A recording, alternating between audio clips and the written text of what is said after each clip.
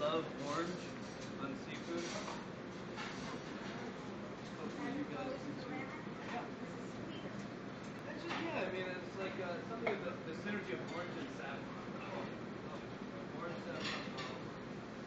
There's no saffron in here. There is saffron in here, but um, more saffron in this one. And again, the iodine is some of that seafood. I just think it's smart. And again, just a little fresh olive oil, as we said before, on top. There is, and that's, you know, it's like paella. It gives you many different stages of opportunity in which to add.